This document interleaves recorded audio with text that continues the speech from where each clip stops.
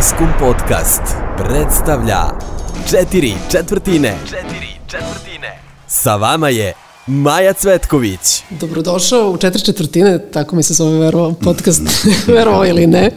Nikola Čutorilo Čutora, u stvari ja te zovem Čuki, Dobro. sa nama, tako Majče. da dobro mi došao. Kaži Hvala, mi, bolje te naš. e, kaži mi ono što ne znam, izvinjam se, to se jedino nisam spremila, koje si ti škole završio?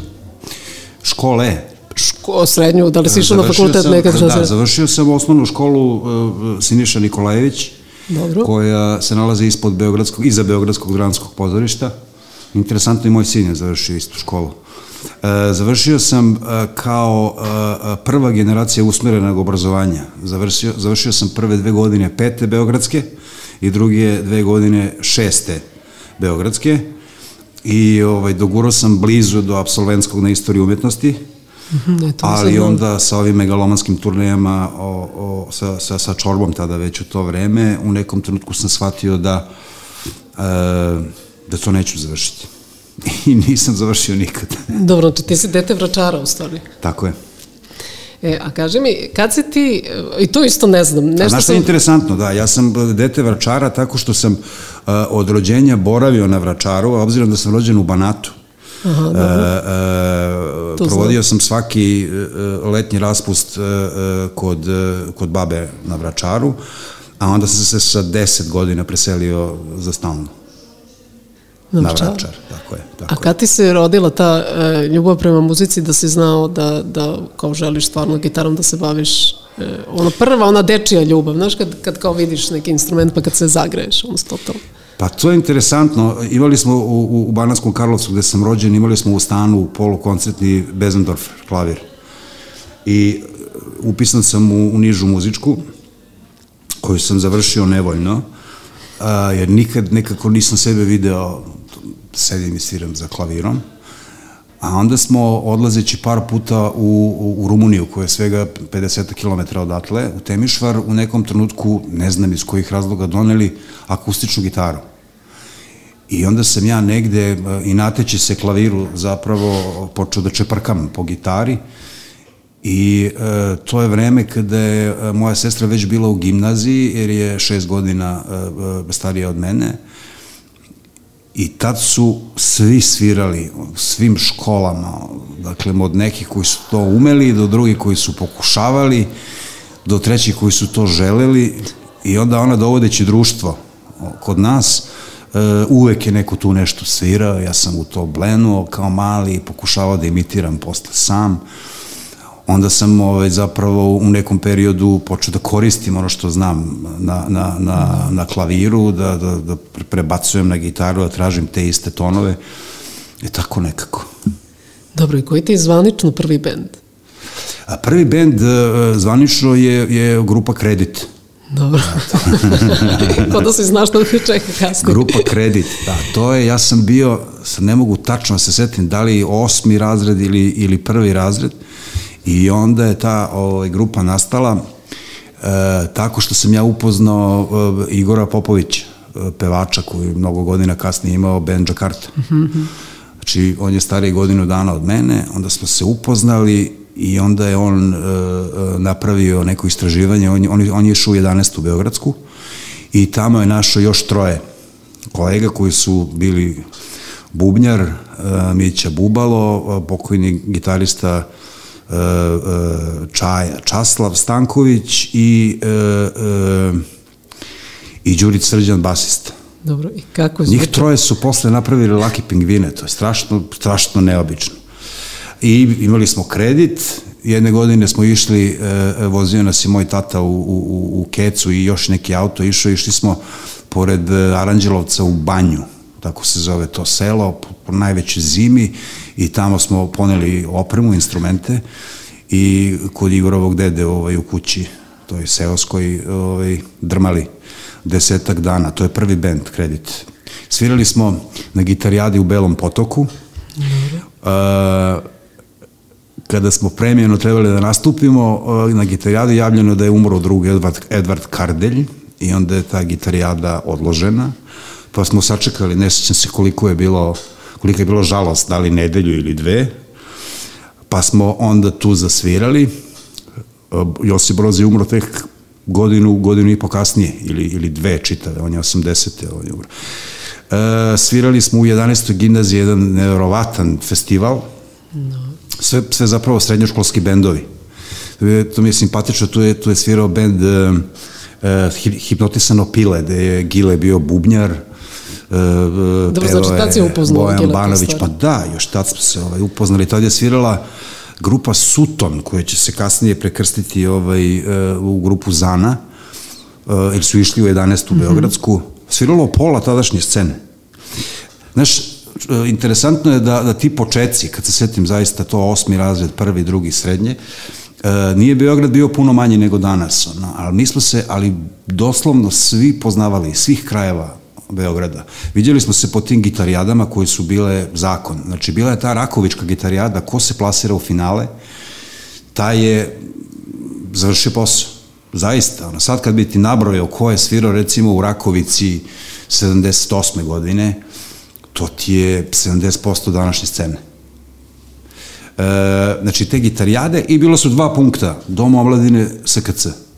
I mi smo se svi poznavali, bez obzira da li si iz sa Zvezdare ili, ili, ili Zemun. To je, to jako interesantno. Dobro, i onda dolazi malo ozbiljniji bend koji se zove Bicikl.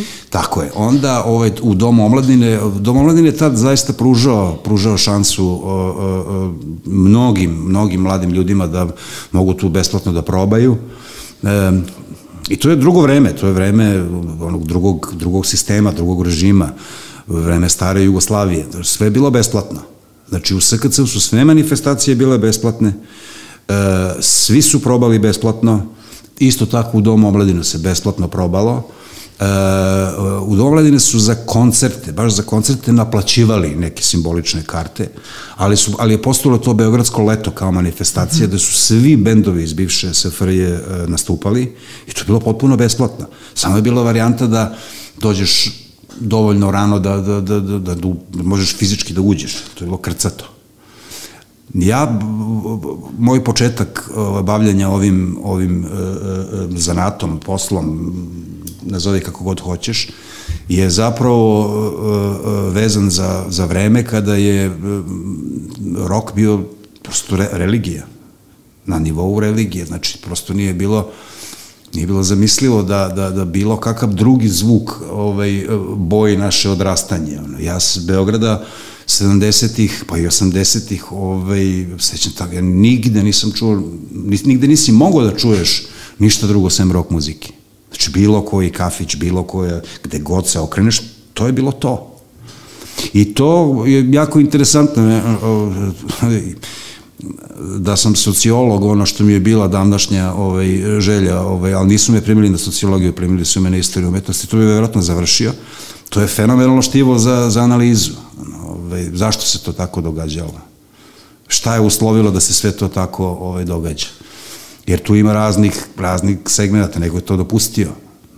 Znaš, mi smo živjeli ono u blago represivnom društvu, sve je bilo pod kontrolom, ali neko je to dopustio jednostavno, rekao je ok, ovo je progresivno, to nam negde treba, uklapa se u nešto što je kulturna politika ove zemlje, pusti to. I to je bio mainstream. A znalo se šta je Ibarska magistrala, to je bilo tamo negde, to je bila neka, neka ljuta provincija, tu u gradovima nije postojalo.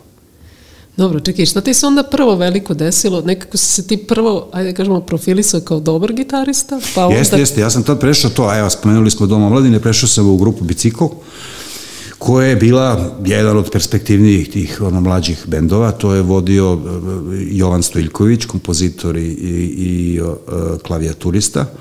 Ja sam tu ušao kao 17-godišnji ovaj, gitarista I imao sam, to je potpuno nevjerojatno, imao sam uh, single koji je objavio PGP 79. godine, recimo sa grupom Bicikl. Pesme su se zvale Palanačka hronika i, i Dečija pesma, da.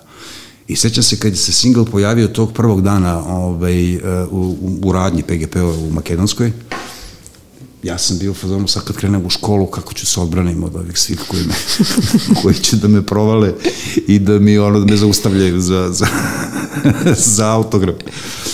E, šalim se naravno, mada ima malo istine u tome, ali to je lepo, nezaboravno iskustvo. Pošto mi generacijski smo imali ideju, bar ljudi koji su moje okruženje, da, da nekako uđemo u taj proces, da postanemo deo tog procesa. Niko, ja ne pam, ne sećam se da iko razmišljao, hoću da uđem u ovo da bi ostvario ovo i ovo, da bi stigao do tačke B, da bi, ne znam, zaradio novac ili da bi bio poznat. Sama ideja da, da, da te prepoznaju kao dovoljno dobrog da uđeš u to je bila uh, osnovni motiv. Tako da to, taj period pamtim, uh, to, svirke Dom omladine, uh, SKC, gitarijade su već bile na zamiranju tada, mm -hmm. jer ovi nekakvi mainstream bendovi tada su zaista počinjali da budu na neki način ozbiljna priča. Tako da, to je taj period... Dobro, i koji prvi bend dolazi kao... Bicikl. Pa ja sam, važan. bio sam u biciklu do, do, do 80. 81. tako nekako. Ne, lažem. 80. godine sam ovaj, počeo da sviram sa uh, Zoranom Iščevićem sa siluetama. Sa siluetama, da, da, ti si da, bio potpuno, pa tek onda orgazam. Tako dolazi, je, tako? potpuno, potpuno neverovatno zvuči. A Zoran Miščević, legendarni pevač grupe Siluete, jedan od pionira tog zvuka ovaj, u nas, je uh, u tom nekom periodu imao Siluete kao pratići bende su svirali uslovno rečeno mlađi ljudi, opet svi stariji po 10 godina od mene, ali ja sam se tu zateko isto kao ovaj, gimnazijalac i e, to negde zaista smatram e, inicijacijom ulaska u posao zapravo. Mm -hmm. Jer s njim sam naučio da, da, da putujem, e, to su bile uglavnom manja mesta, Vojvodina, Slavonija, e, svirali, svirali, on je svirao taj nekakav stand, standard repertoar kavera, ali je ovo, je bila ozbiljna škola, naučiti se ono osnovama profesionalnog posla. E, onda, pošto sam ta nesrećna generacija koja je prva bila usmerena ovaj, u kontekstu usmerenog obrazovanja, znači nas su kolektivno upisali ovaj, u škole, uh, ukinuli su gimnazije to, i, i, i čitav sistem školovanja do tada, tako me je sačekalo i posle te srednje škole da sam prva generacija koja je otišla kolektivno u, u, u vojsku, mm -hmm. u mhm. JNA. I, I gde si služio? Ja sam u Kosovskoj Mitrovici bio sa jednom malom otkomandom u Dečane. 81. godina je bila sve samo ne mirna na tim prostorima, tako da ovaj, vrlo jedno, uh, uh, kako bih rekao, colorful experience. Ali i tamo se dogodila opet situacija sam se našao sa, sa par istomištenika i uspeli smo da formiramo bend i svirali smo uh, za potrebe garnizona tih godinu dana. Imam neke fantastične fotografije. Opet neposredno po mom izlasku iz, iz, iz JNA, znači iz armije, o, ovaj, to sve sa 19 godina, to mi danas zvuči nestvarno. Uh, oni su promenili uniforme i te uniforme su jednom počeli da liče na neke uniforme koje mi danas znamo. Inače, one u kojima sam ja bio, to su, to, to, to su uniforme koje više liče na prvi svetski rat.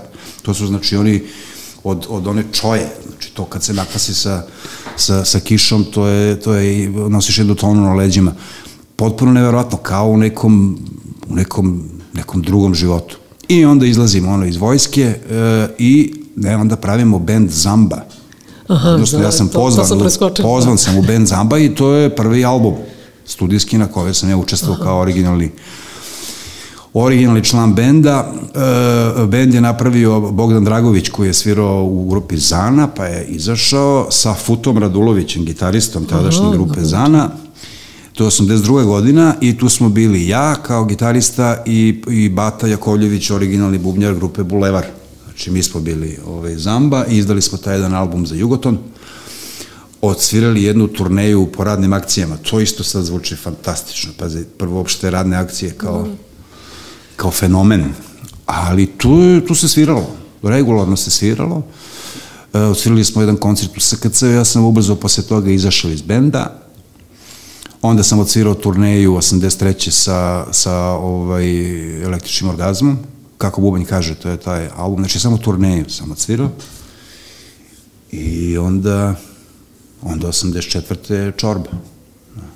Dobro, ajde da čujemo sad uh, tvoj novi singl, Sanjam te. Mm -hmm.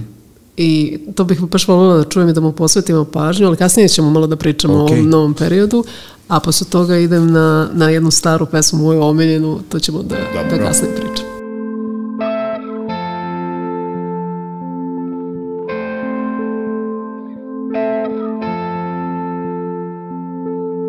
Za noć smo digli zidove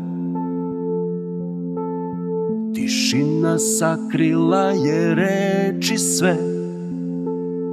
Nije nas hteo spas Do jutra nije bilo nas.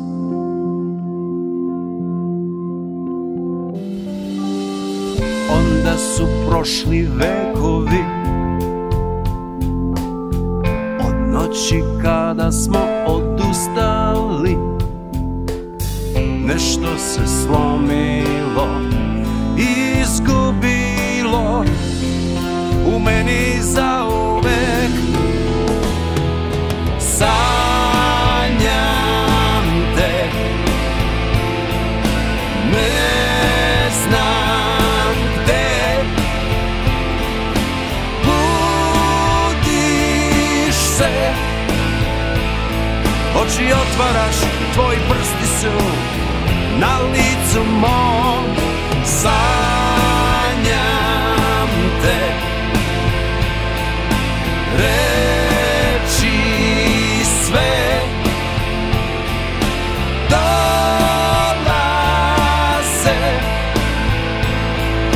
Ovaj san ih zna ko što nisam ja. U noći kad si otišla.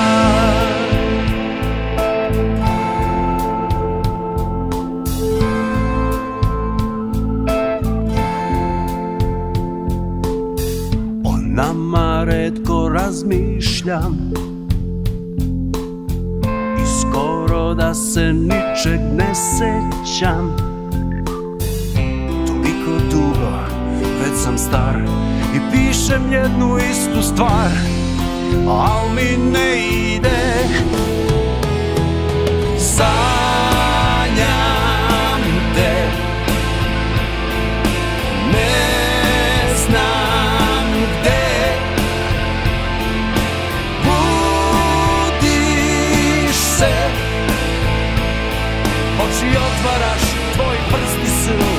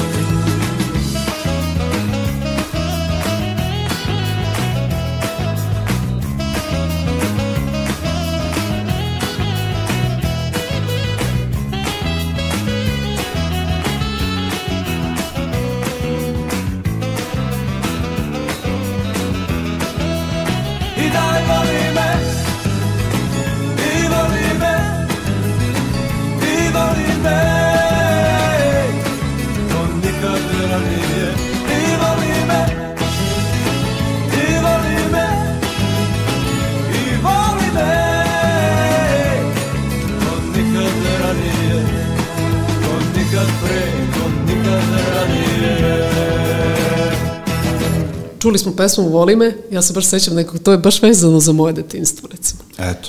Neko, baš da se sećam iz tog perioda, ovaj, Dobro, kad se do, da se nastavimo na, na priču koju smo eh, prekinuli, je dolazak u čorbu, to je mm -hmm. Bajaga odlazi, ti dolazi, tako, Tako ti u je. stvari dolaziš na njegovo Tako je, mesto. tako je. Kakav je to u stvari za tebe neki bio, uh, ne, ne, ne kažem životni period, jer to je sad nešto bilo mnogo velika popularnost, Čorba je već bila veliki bend, kako je tebi tu sve izgledalo tada? Pa vidi, ja sam imao 22 godine, ali sam bio uh, realno spreman za, za uh, takvu vrstu izazova. Izašli su pokojni Rajko Kojić i, i Bajega i došli, došli smo Video Božinović i ja. E, to je neko kraj leta o, o, 84. godine. E, ništa, ja sam došao na jednu probu, onda na, drugu, na drugoj probi se pojavio Bora, znali smo se iz viđenja, ja sam svirao i sa zambom, i sa siluetama, i sa biciklom kao predgrupa. Tako da znali su oni mene, nismo bili ono, ove, nepoznati. Sa biciklom sam svirao na Rokoteci na Kalemegdanu, ovaj, jedan ogroman koncert kao predgrupa. Mm -hmm. Sa siluetama, sa Miščevićem na sajmu, neki čuveni koncert kad su Boru ovaj, kad šišali i brijali. E, a sa Zambom sam svirao koncert na Obedskoj bari. Interesantno je, sam propao Dina je bilo dve prikulice traktorske ovaj, i propao sam ovaj, igrom slučaja. Pa bilo je interesantno, recimo ja pamtim po tome što, što je danas isto neskvatljivo. Ovaj, mi nismo imali na krstu kuća moja, dedina kuća, nismo imali nikad telefon. I onda je bilo dramatično kako ja uopšte funkcionišem u smislu kako me obaveštavaju. I onda je Miša Aleksić, sad, nažalost, je on pokojni, zvao moju prvu komšinicu, jednu ovaj, gospođu e, Simku, tako je, i onda je ona imala specijalan ovaj, šifru udarca u zid i onda ako ja odgovorim, ona, mi, ona mu kaže tu je, sad će da dođe. Onda ja istračim na ulicu kod nje i on ja na telefon i onda mi on kaže, ne znam, odložena proba ili sutra idemo za Kruševac, šta god. Bilo je interesantno, Ginger imao fiću nekog žutog malog i pošto stanuje onako paralelno od mene bulevarom u Đevđelijskoj, znači kod Đeran pijace, onda sam ja regularno išao kod njega i onda smo nas dva ovaj, sa sve svojim gitarama, fićom išli do doma mladine na probe regularno. Pamtim po tome. I pamtim po tome što je uh, uh, bend u tom trenutku u odnosu na produkciju koju su imali sa prethodna dva, tri, četiri albuma, imali sa, sa tim poslednjim albumom uh, u njihovim kriterijima ozbiljan pad. I onda se to smatra kao praktično novim početkom. Mm -hmm. Jer oni su imali ona prva dva albuma koji su bili uzlaz, onda su imali onaj treći album Mrtva priroda koji je danas valjda najprodavaniji rock album u, u istoriji SFRJ i ovih Tako prostora. Je, da. Onaj sa onim jajima, to svaka kuća imala. Interesantno danas, ono, to, to sam spominjao par puta, ovaj, taj album Mrtva priroda uh, je prodat u nestvarnom tiražu. I onda sam naletao na podat, podatak mnogo kasnije ovaj, u PGP-u, da je e, 5000 vinila albuma Mrtva priroda, znači ovaj, podeljeno o, o, e, radio stanica. 5000 znači vinila. Onoliko koliko je bilo radio stanica u onoj da, da. bivšoj zemlji, što je danas tiraž znači, koji bi da, da. svako platio istog trenutka. E, onda su imali ono, valjda, e, bulju pijacu, koji je bio onako mali pad i imali su muzičari koji piju, koji za njih bio ozbiljan pad. To je prodato recimo u 100.000 primjeraka i to je bio ozbiljan pad. Pazi, 100.000 primjeraka je tad bio, bila misalna imenica ono nekom bendu, recimo, koji se zove Film, kao mainstream band. Ali za njih je to bio veliki pad. I mi smo krenuli praktično od početka, svirali smo male prostore, mm -hmm. pripremajući e, album Istina i negde sa saznanjem da tu ima, da, da se tu krije ogromna pesma, ovaj, pogledam svoj anđele za koju će se ispostaviti kasnije da je jedna od pesama koja je zaštitni znak celog opusa tog benda i onda si kao na pokretnoj traci to je danas malo o, o, nezamislivo. nezamislivo. Ja sam bio u bendu svega nepunih šest godina, četiri studijska izdanja, četiri jugoslovenske turneje, jedna kompilacija, dva singla i godišnje između e, 140 i 170 recimo koncerata, tu ne računam tezgi, ne računam odlazak u Vojvodinu, da se odstirate, ne, koncerata, znači gradova. To je praktično kao traka. Ti, znači, spremaš album, uđeš u studio, obično smo ulazili u studio pred novu godinu, uradimo album, on se obje, o, izađe negde u februaru, u martu se ulazi, uradi brza promocija. Znači, tad je ovde, ovo što se zove marketing bio ono u pelanama, to nije postojalo. Postojalo je šest, devet centara, tri novine i, i ono nekoliko radiostanica, to se uradi jako, jako brzo par časopisa, ali je postojala kao infrastruktura. To se uradi i kraje marta se kreće na turneje. Turneja se svira tako što si 15 dana na putu dan za danom, svako večer se svira koncert, onda se vratiš za Beograd dva dana, brzinski se peru stvari, garderoba, da. pakuješ se i odlaziš opet na 15 dana. I tako, ja se Beograda jedva sećam to 85. 6. 7. 8. Granično se jedva sećam Beograda.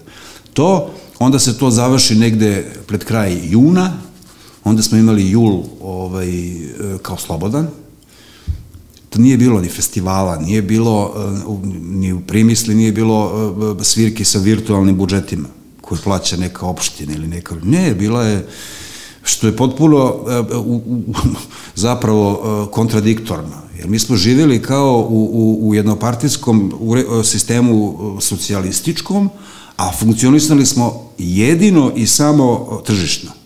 Znači, staviš plakate, staviš cenu karte, ko kupi, uđe unutra, doviđenja. Danas smo kao ove, dosegli ono ovaj, veliki nivo demokratije, da ako ne sviraš ove virtualne manifestacije, praktično, praktično nemaš, nemaš, nemaš da sviraš na prste jedne ruke možda nabrojiš nekoga ko, ko prodaje ulaznicu i to jednom u dve godine. Kažem, jul slobodan, e, u avgustu smo svirali te manje neke svirke kao da ostanemo u formi i pripremali album. A album se pravio zapravo na turneji, po sobama hotelskim, na tonskim probama, ono umeđu vremenu, ali ti si stalno u tom, u tom uh, uh, nekakvom, nekakvom spidu i uh, tu se stekne jedna vrsta rutine koja je potpuno nezamisliva. To je da, da, da zaista možeš da odlutaš mislima, hoćeš, ti ćeš osvirati taj koncert perfektno. to radiš svaki dan, dan za dan. Ozbiljan posao. I tako godinu za godinu. Taj prvi album je Istina, onda 86. je izašao e, kako se zove album, bože, tu su ovde Amsterdam i nema ideš mojom ulicom i evo, stao mi mozak, ne mogu setiti kako se zove album. E, e, iza toga je bio treći, koji verovatno isto ne mogu sada da zovem pameti. ovaj, A čekaj, kad dolazimo do...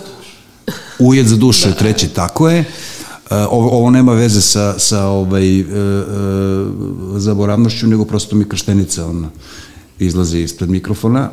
E, iza toga priča o ljubavi obično ugnjavi, tako je. Pa je bila ta desetka kompilacija i tu negde 89. sam ja rešio da odem. Dobro, jesi ti tad u tom periodu čorbinom uopšte imao vremena za neko svoje stvaralaštvo ili je to toliko bilo intenzivno da nisi...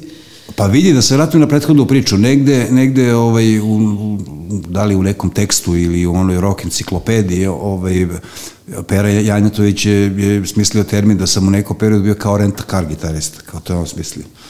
Sad koliko je to ovaj, pa pozitivno ili nije, nebitno je, ovaj, ali ja sam bio negde potpuno potpuno srećan u tom periodu da ja sviram gitaru u bendu, da doprinosim aranžmanski, da je to to. Mene je e, e, u tom periodu, znači 85. godina, e, Bora Đorđević direktno ohrabrio da pokušam da pišem. Direktno. Ja sam mu jako zahvalan na tome, to je prosto činjenica, što nije morao da radi ni nikakvog interesa, ono, prosto to je bila ovaj, negde njegova, da li prepoznavanje nečega ili nemam pojma, sve ja počeo na taj način da razmišljam, nešto što sam ja imao kao nekakvu temu, on je čuo kao pesmu Terao da završim i to je moje prvo autorsko učešće na tom albumu, to je pesma Neću da te volim, to je prva pesma. Pa onda negde u tom periodu, između tih turneja, e, b- Dragi i Žika Jelić su nam radili ovaj, produkciju u smislu ozvučenja i rasvete, a razmišljali su da se vrate ovaj, autorski ovaj, u posao, pošto nikad nisu bili tekstopisci, onda su na, navalili na Boru, ovaj, e, a Bora je tu negde uključio i mene, kao može da proba. I onda su se meni tu dogodile ove neke pesme. Dobro, ali Mom- lepo da to nisam znala da, da je on tako... Jeste, jeste. Mornar, Dunav šibaju vetrovi, to je u tom periodu isto napisano između tih turneja po nekim sobama i posle sam postao doživotni saradnik ove, dragog, dragog i Žiki. Da. Tako da, s te strane on bio ovaj, više nego, nego uh, podsticajan, eto tako mogu da kažem. Za razliku od nekog autora koji je toliko veliki, koji je ostavio toliki legat iza sebe, koji bi mogao da bude, kako bih rekao, uh, uh, samozaljubljen i koji ne bi dozvoljavao da se Tako niko je, da. lati uopšte toga. Znači, ne, nap, naprotiv, on je to ovaj, posticao. Da. Ajde da čujemo neko kao ja Ajde. iz tog opusa, pa ćemo posle u jednom drugom životnom periodu.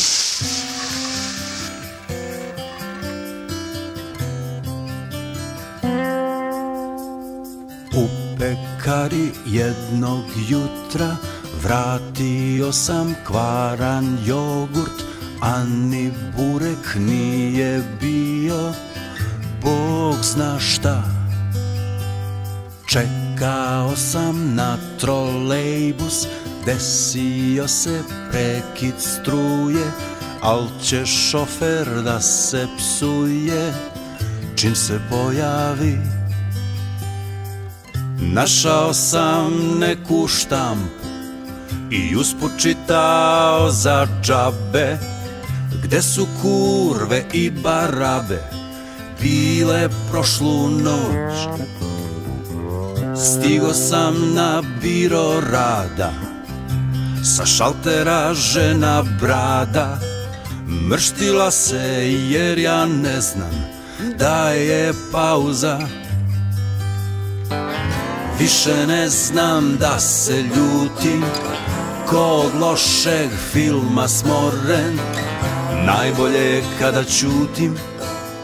I ja za ovo nisam stvoren. A, a, a,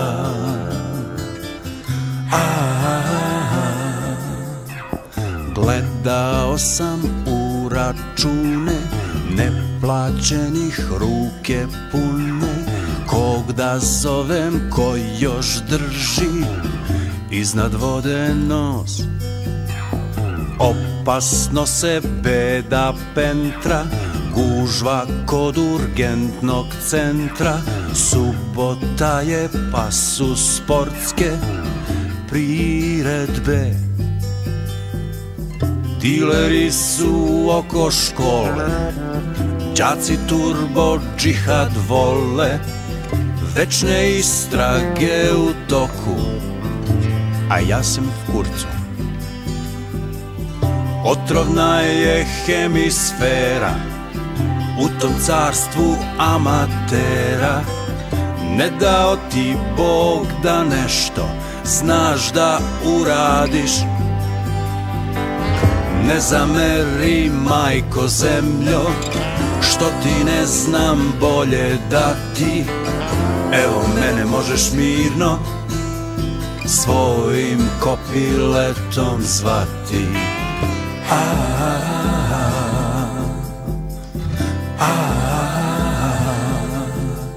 Za hipnozu nove vrste Sklopio je čovek prste Gluva buka ushićenja I aplauza Starog kera u mom liku Teško učiš novom triku Za marginu nema ključa Ni kalauza. Ja ne želim da se predam Ja sam vernik optimizma Ja u bolje sutra gledam sa ivice ludizma.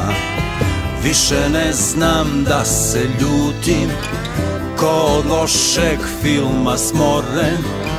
Najbolje je kada ćutim Ja za ovo nisam stvoren.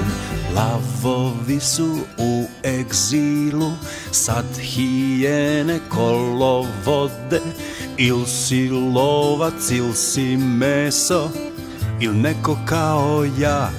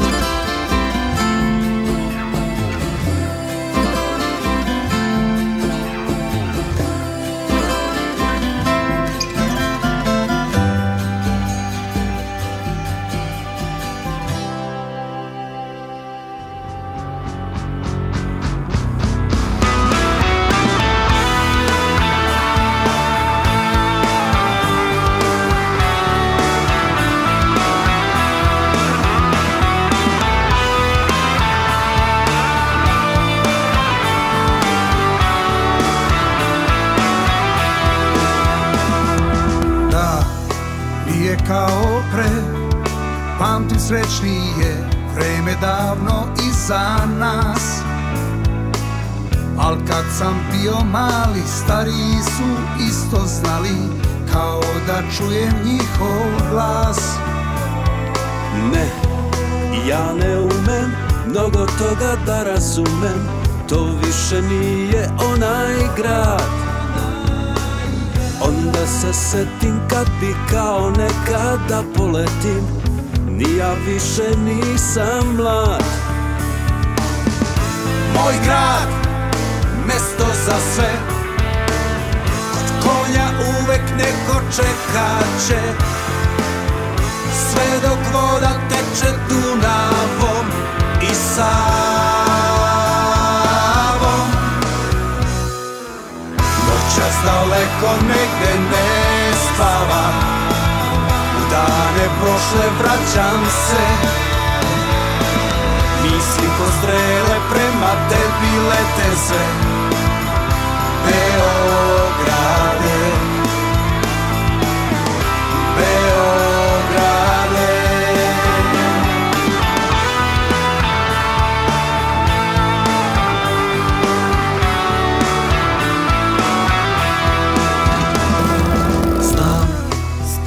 jednog sna Među zvezdama, a znam i kako je na dnu.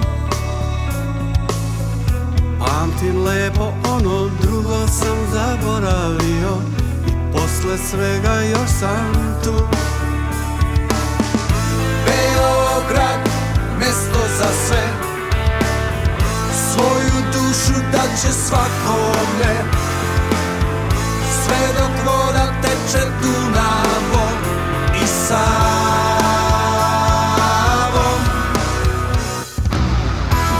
Daleko negde prošle vraćam se. Mislim ko strele prema se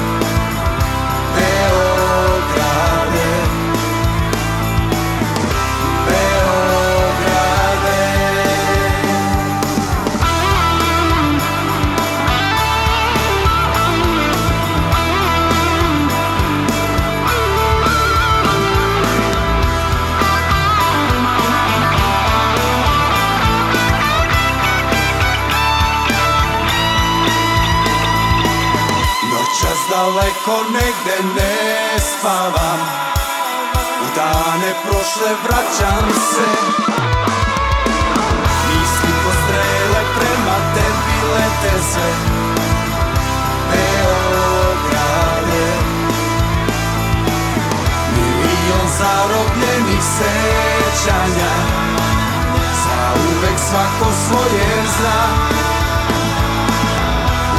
Ima poput rime, sve na sveže tvoje ime. Beograde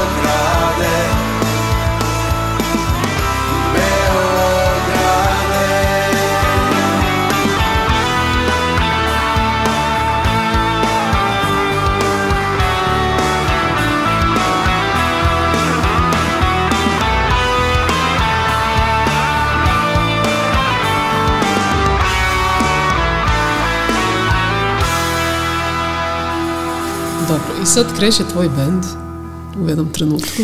Tako je. E, To je, ja sam 87. godine e, snimio svoj prvi e, solo album. Toga se sećam još. devet, devet lakih komada se zvao. I umeđu vremenu sam već imao neke napisane tekstove za ju grupu, za, za Cuka, više ne se ne sjećam i za koga. Već sam autorski u čorbi bio ovaj, negde ovaj, još ostvaren. Na tom drugom albumu sam imao e, Sutra me probudi, imao sam e, Ljuti rock and roll, Na ujedu za dušu još više. I umeđu vremenu se dogodio nekakav, uh, uh, nekakva zbirka pesama koje M nisu bile za čorbu, M nisam imao ideju da bih nekom to davao i to sam jednog momenta video kao album i snimio sam taj prvi album za RTV Ljubljanu 87. godine bez primisli da ću napuštati bend ikada. Ove, I taj bend koji sam formirao e, te je bio sada već pokojni, ovo je tragično šta ja izgovaram, Dragoljub Đuričić kao bubnjar, Da, da. bio je Deki Grujić koji je ovaj, e, basista do, do dana današnjeg, ono što se tiče mog rada. E, Saša Lokner je bio kao gostujući klavijaturista, e, Bubnje je svirao pokojni Igor Bo Borojević, koji je posle bio producent čuveni Bora Droga. Da, da.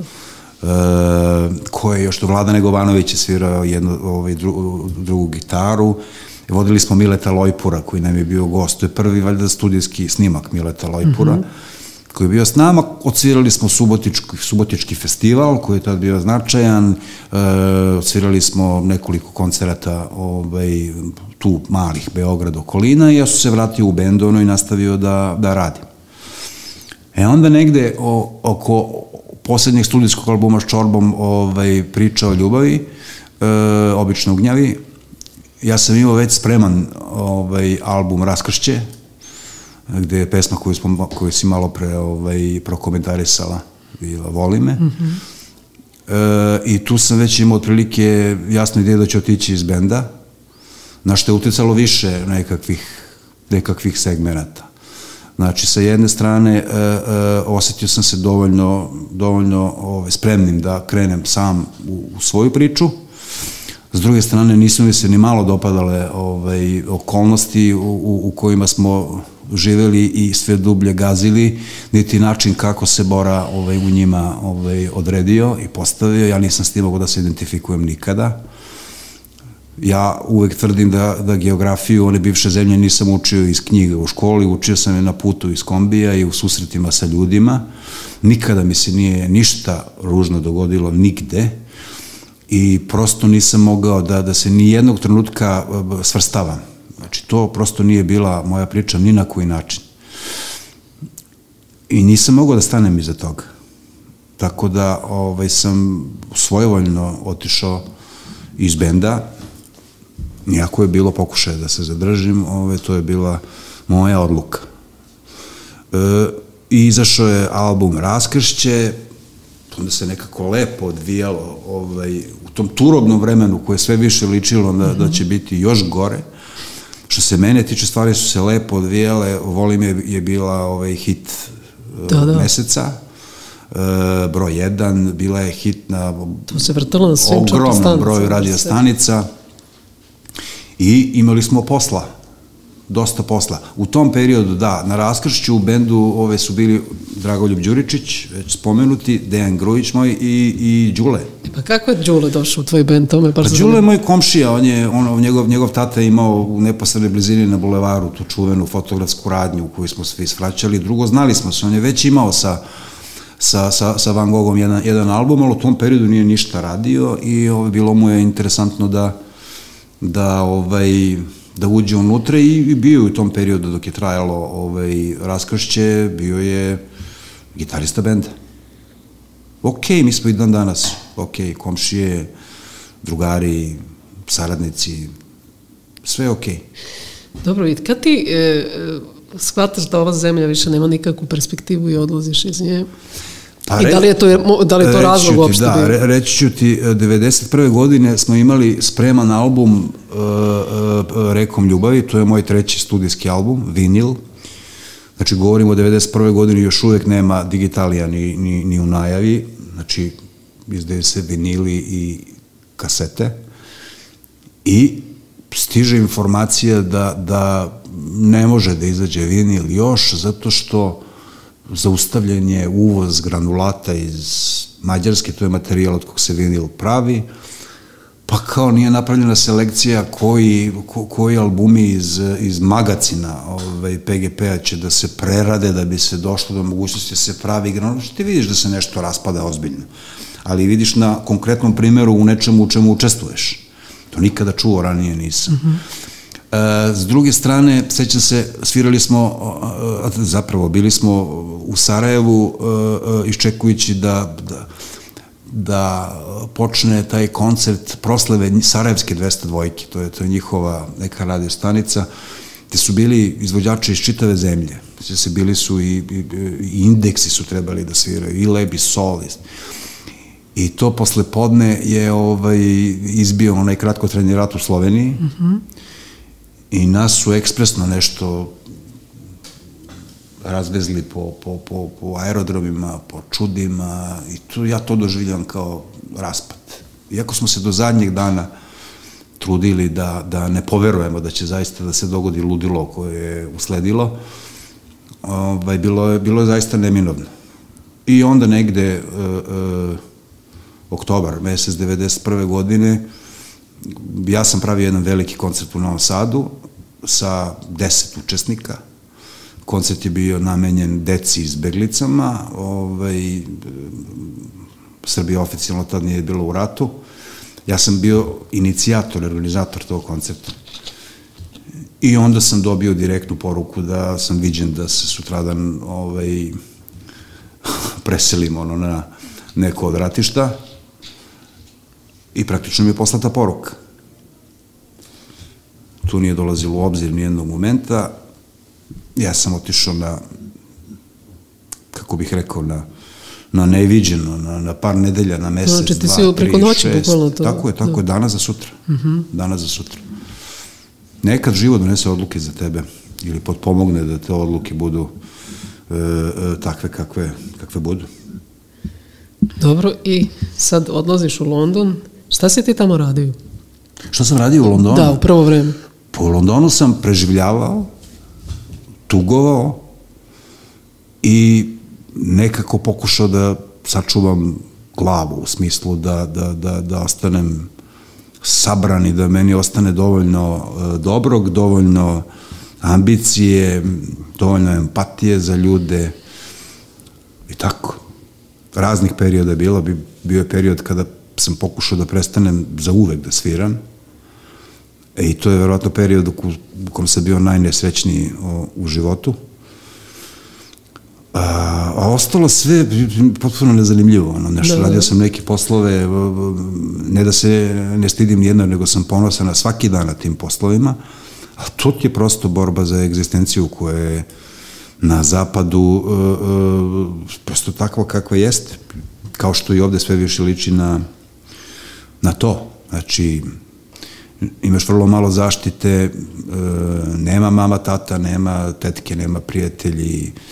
E, pa sad je interesantno, ja sad spremam ovaj, da snimam album, e, Bože, izvinjam se, da snimam video za single koji se zove Lice ulice koji se tako dogodio, tako sam ga napisao, koji zapravo govori o homelessima, govori o beskućnicima. Ja sam recimo svedočio na tom zapadu, u tom Londonu gde sam živeo, kako čovek kako sam poznavao, od potpuno regularnog čoveka u roku od 3-4 meseca završio ispred metro stanice sa konzervom piva i sa, sa klašanjem. Da, a kad smo kod toga, e, jel ti se čini da sad u poslednje vreme ima mnogo, mnogo više beskućnika i kako proseka da ne? nego... Kako da ne? To je, kako bih rekao, tražili ste, gledajte. To je, to je, to je globalni, globalni kapitalizam u svom najgorem izdanju, koji zapravo sve više negde sabija tu srednju klasu, čini je ono sve manje vidljivije, još jedan jako mali broj e, e, e, bezobrazno bogatih ovaj, ljudi i imaš ogroman broj siromašnog sveta. No. Sve ono što se dešava je zapravo nestanak te, te nekakve srednje klase, ali ja mislim da ono što je, što je inicijalna kapisla je uh, čovjek je po, po, po, po prirodi stvari borac, tako bi trebalo da bude. E, mislim da je ovo, ovo se događa psihičkim razaranjem zapravo. Znači svako ko je i dalje sabran e, će izaći na ulicu i borit će se na jedan ili drugi način i verovatno će se snaći. Ali trenutak kada psihički, znači, e, olabaviš, a na to te prisile sve stege i svi pritisci, ono s kojima živiš ove danima, nismo svi sazdani od istog materijala, ti zapravo tog trenutka postaješ uh, neko ko, ko se predaje i to je strašno tužno. Tako je. Dobro, ajmo malo ove vedrije teme. E, izbacio si novi singl, super spot, Hvala. Sad pripremaš drugi Hvala. spot i planiraš taj album za jesen. Za jesen, tako je. Pa je, meni je, meni je pandemija, e, e, odnosno trenutak kad su, kad su odlučili da nas zatvore, zapravo e, odredio šta ću raditi sledećih, sledećih meseci. Ja neke od, neke od tih stvari vučem godinama. Ima najlazim na pitanje ono, pa posle devet, albu, devet godina imaš kao pa, ovo izdanje, kao u fazonu devet, devet godina pauze, sad to se shvati kao da sam devet godina džabale bario. Naprotiv, ja bih volao da jesam. Ali e, moraju se plaćati računi. Ja sam opet zahvalan što svi moji računi budu plaćeni od, od muzike na ovaj ili onaj način. I puno toga sam radio. Od serije, od muzike za decu, od albuma za kolibri, od saradnje s ju grupom, od himne za, za UNICEF, e, Evo sad sam završio jednu fantastičnu, ovaj, uh, fantastičan projekat uh, uh, za uzrast od 3 do 6 godina, zove se Raspevana slikovnica. Jer to su neke stvari koje, koje su konkret, konkretne. Vrlo dobro znaš, ona sama si u istom poslu danas kad se odlučiš da autorski se pokreneš, ti si u startu u minusu i bit ćeš u minusu onoliko vremena, da zahteva ulaganje. Ja bih voleo da sam neki čovjek koji ima dovoljno ono sredstava pa da može da dopusti sebi da da radi samo ovaj autorsku muziku svoju, kantatorsku, no, ovaj, nažalost to nije slučaj. Zašto to pričam sve? Kad se dogodio ovaj, ovo zatvaranje, ja sam jednom shvatio da, da ništa ne mogu da radim sem ovog. Pošto mi je atelje na 100 metara od kuće, ja sam odlazio svaki dan, sa čvrstom namernom da završim te, te numere, umeđu sam napravio neke druge i jako brzo za mesec dana sam spakovao ceo, ceo album. I onda smo napravili nekoliko proba akustičnih, nekoliko ovaj, full proba u studiju i jako brzo već u junu ušli ovaj, u studiju. E sad, Vlada Negovanović, to je interesantno, to je, Vlada Negovanović je e, moj drugar iz Pete Beogradski. Znači, to je, kad bi sada krenuo da nabrajam, a hoću, ono bit će interesantno ljudima, znači, u dve godine, prvi razred, drugi razred Pete Beogradske, e, išli smo u isto vreme Vlada Negovanović, Nebojš Antonijević, e, na Miško Plavi, Uh, Igor Blažević ili ti inspektor Blaža, uh, mali Igor Jovanović koji je originalni gitarista grupe Zana, uh, Luka koji je svirao bas u, u grupi Škripcu, uh -huh. Vd je bio dve godine stariji od nas, Bubnjar, dakle, neverovatan, bila... neverovatan broj. I pritom smo imali to, to, to, neko, to neko divno ovaj, rukovodstvo škole, imali smo dole taj klub gde su oni nama davali i da vežbamo i da sviramo i taj klub kome su se kasnije mnogo više radile ove neke dramske sekcije Pete mm -hmm. Beogradske. Dakle, Vladan Negovanović iz tog vremena moj drugar koji mi je švercovo kod Enca Lesića u studiju druga maca, kad kažem švercovo, snimao me ilegalno. U nekom periodu ja dođem u dva ujutru, pa onda ovaj, ni nešto snimimo kad nema nikoga. Vlada je uh, bio koproducent je snimatelj na mom prvom albumu Devet lakih komada. Isto to smo ponovili na uh, drugom albumu Raskršće, osim što smo imali i Habića kao producenta, onda smo radili ID zajedno u Londonu, zajedno smo snimali ID i onda smo napravili tu pauzu koja nije mala. Ali to je fascinantno da, da, da zapravo smo čitavo snimanje, jer smo vrlo kratko obavili razgovor šta je to što tražimo i čitavo snimanje smo obavili bez gledanja u smislu šta, šta nam treba, šta hoćemo. Dobro, poznajete. Dobro. Tako da je ovaj, mnogo, mnogo, mnogo lepa uh, saradnja. Sreća sam da ponovo ovaj, stojimo iza nečega zajedno. Eto, to je to. Znači, album će izaći uh, uh, na jesen. Dotle ćemo objaviti, ja sam siguran, bar tri ove singla, znači ovaj aktuelni još dva, e, pa ćemo nastaviti. Vidjet ćemo gde će nas to odvesti. U svakom slučaju okružen sam nekakvom zdravom ekipom uh, uh, uh, ljudi, ne mislim samo pritom na svoj bend, nego i na neke ljude, pre svega žene koje su se prihvatile da, da se pozabave sa ovim. Znači, izdajem za Lampshape mediju koju vodi Zdenka Milanović, e, koja mi je rekla neki dan postaješ polako full time job. I možda, Dobro, ali lepo, je, jako lepo rade promociju, to se vidi, to, je, da, to se vidi to da se neko trudi. Interesantno da ja zapravo prvi put imam ovaj, nekog ko se malo, eto, malo se bavi mojom karijerom, o, osim mene, ono što, što je meni zamerano od strane dobronamernih ljudi, to mi je Bora zamerio više puta, to mi zamera Bajaga, da uradim sve u pripremi i, i, i u studiju i kad izem iz studija kao da mi, da mi splasne entuzijazam što nije daleko od istine. Ja zaista i dalje uh, trudim se da profesionalno obavim sve obaveze koje nisu vezane za za pozornicu ono i za studio, ovaj, ali um, nisam uopšte neko ko je re, a, a, prosto rečeno do, dobar menadžer, sobstveni menadžer. Nisam. Dobro, ajde malo da slušamo sad neko iznenađenje od Maskuma, pa posle se vratimo malo da pričamo o saradnji sa EU grupom, to me jako zanima.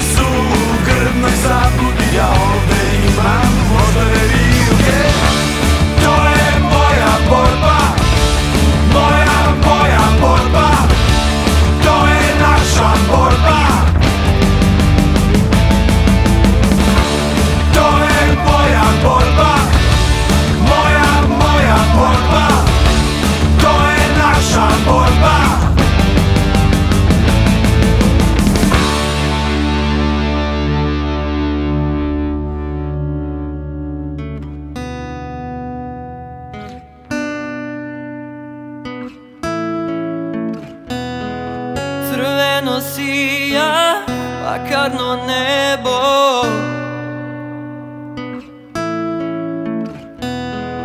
Krvava reka Kao da plamen podmukli Izbija.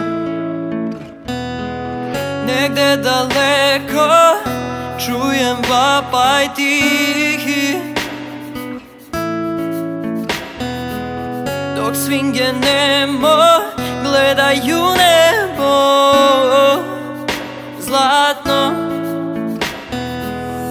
Umorno sunce Zalazi polako Umorno sunce e,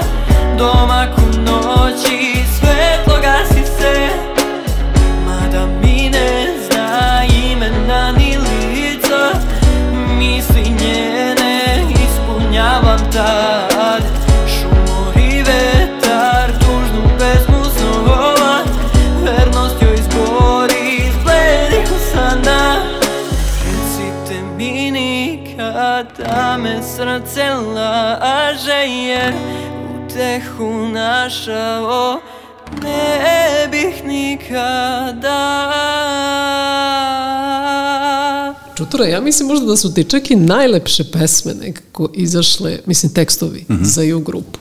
Kako si, zašto si te pesme njima dao? Nekako, kako si to, uh, jesi baš pisao za njih i, uh, kada, kada si pisao tu pesmu, baš si onako ciljeno pisao za njih ili si nekako davao neke svoje koje misliš da ti ne možeš baš Pa dobro? pazi, to ima, to ima pre- predistoriju. Dakle, uh, uh, probaj da, da, da, da vizualizuješ. Uh, uh, 72. godina.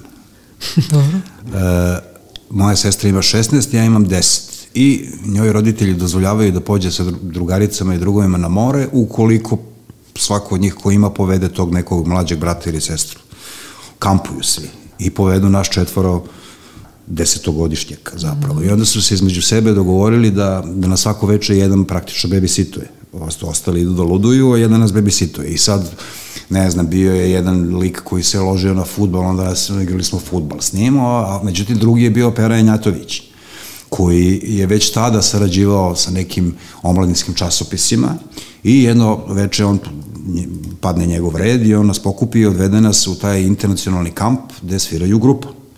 Gde on imao i tezgicu, ide da gleda i da izvesti odatle. I to je moja ta neka prva dečija inicija, inicijacija ispred te pozornice, na, u trenu, ne znajući uopšte šta da, šta da očekujem. Mislim, vrlo dobro se sećam, kao danas. Znači, u trenutku gomila sveta, uh, uh, gase se svetla na pozornici, neki dim i izlaze oni u glamur odelima koji su tada doneli imali na onom singlu šta će meni sada vatra iz, iz Londona, to je 72. godina, i kreće potpuno neverovatna uh, uh, uh, količina zvuka, potpuno strana tog, moment, tog, trenutka.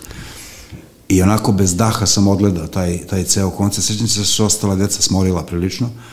Meni je to bilo potpuno čudesno i dva, tri dana iza toga smo se vratili za Beograd, ovde na Krst i ja provalim istog dana da oni žive zapravo u Vojislav Ilića koji je 50 metara vazdušna linija od moje kuće. I onda sam ih gledao tako ko neka čuda, znači kao, kao dete, to seća se dragi kad uđe u samoposlugu, to tajac potpuni, to imali su parkirano, to se, to se zvalo, mislim da postoji dan danas, ta zgrada se zvala Jatova zgrada, tu su mm -hmm. živjela te porodice koji su radili Jato, njima je tata radi Jato. Parkirano 3-4 automobila, kombi, čuda neka. I onda sledeći trenutak oni rade ozvučenje i rasvetu čorbi u kojoj ja sviram. Tako je potpuno to neverovatno kako se to ovaj, dogodilo. Ja, uh, pošto autorski sa Dragim Jelićem tu ovaj, sarađujem, uh, postoji neko, neko prepoznavanje, ja sam se trudio znajući zapravo njega uh, prilično dobro, jer smo jako, jako bliski ove drugari. Pokušavao sam uvek samo da nešto napišem što bi Dragi inače napisao da piše. Znači, znajući mm -hmm. njegovu situaciju, delove, intime, kako god. Tako da nije to teško, ali ja tako jedino i funkcionišem. Ja nikad nikom, nikom nisam dao po naročbini ništa, niti ću. Ljudi kojima sam pisao su ljudi koje donekle dobro poznajem i koji su mi bliski. Tako da ta saradnja sa, sa, ovaj, sa Dragim pre svega i sa, sa celom nju grupom je umeđu vremenu prerasla na, na neki nivo da sam ja tu ko ono, dopisni član benda. Ono, znaš. I strašno sam ponosan na to, zato što su oni, osim što su uh, i dalje nedovoljno istaknute legende ovaj, uh, u čitavom poslu, neprepoznate legende pre svega od ove zemlje, oni su verovatno naj, najčestitiji, najpošteniji ljudi koje znam. Divni ljudi i fantastični umetnici. Znači, ima jedna, ima jedna anegdota, ovaj, pre deseta godina mi je došao prijatelj s kojim sam svirao u, u jednom cover bandu u Londonu. Ja sam svirao ovaj, englesku cover scenu mm -hmm. poprilično s različitim ljudima. Neki od njih, kako ih tamo zovu X-Names, neki koji su ostavili ozbiljnog traga i ovaj jedan prijatelj mi je došao i otišli smo na tadašnji Beer Fest.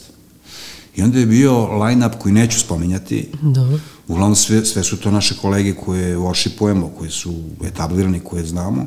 I onda je ovaj drugar posmatrao, klimao glavom, znači, znači nema predstavu ni o čemu, ne zna šta sluša. I onda u nekom trenutku kao treći su se tu, recimo oko 11 uveče, pojavila ju grupa. I kad su krenuli prvu numeru, znači on me pogledao i sam je rekao this is for real now. I ništa drugo nije treba da mi kaže. This is for real now. Jer ovo stvarno je prethodno zvučalo kao pokušaj, znaš. Kao kad čitaš, ne znam, jednu, drugu, petu knjigu i onda za neke knjige možeš da kažeš da su to knjige koje su napisali neki ljudi, a za neke knjige kažeš ovo su napisali pisci. Da. Ajde za kraj. Samo mi kaži, koja je tebi naj, najdraža, najbolja, ne znam kako misliš, pesma koju si za njih napisao, koji tekst ti je naj, onako najdraži, ne znam. Za Žiku i za Ju grupu? Da. E, uf, to nije lako stvarno. Pa dobro, možda ovih nekih, neke, po, ne znam da li su možda poslednje, meni ona ko, ako se mm -hmm, tako mhm, zove, to, mm -hmm. to je sjajan tekst. Jeste, pa ima na, na, da, na poslednjem albumu ima, me, me, ja jako volim pesmu koja ko se zove Uzalud. Mm -hmm. Pa onda i evo stojim tu, ono, i to je, i to je ovaj, da, sa da, poslednjeg da, da. albuma jaka, jaka pesma. Pa ima svašta, ima na onim prethodnim radovima, ima ona, ona lepa pesma Zaboravi. E, u tom nekom periodu, da, bio je i Bata Kostić kao autor, mm -hmm. na mhm. njega sam zaboravio, vrlo, vrlo, vrlo važan ovaj, autor. Ne znam, možda mi je naj, najinteresantnije, evo neću reći najdraža, ali e, e, Dunavom šiboj vetrovi. Da, pa dobro, to je... To ali je znaš zašto? Evo, dragi mi je sve dok, Bogu hvala.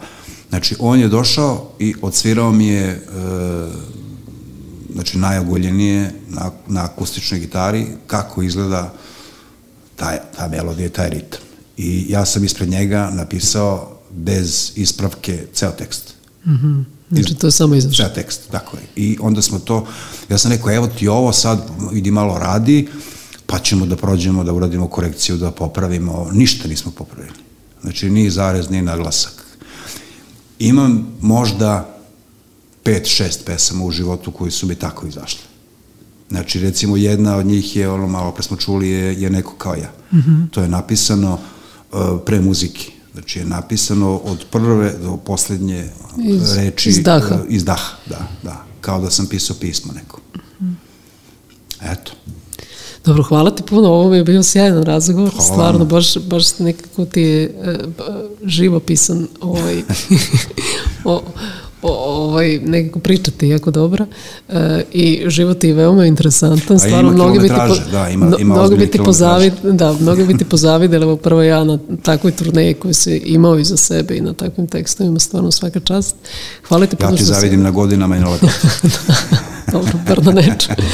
Hvala ti puno, ovo je bilo četiri četvrtine, e, vidimo se za. Živi bili. Četiri četvrtine. Četiri četvrtine.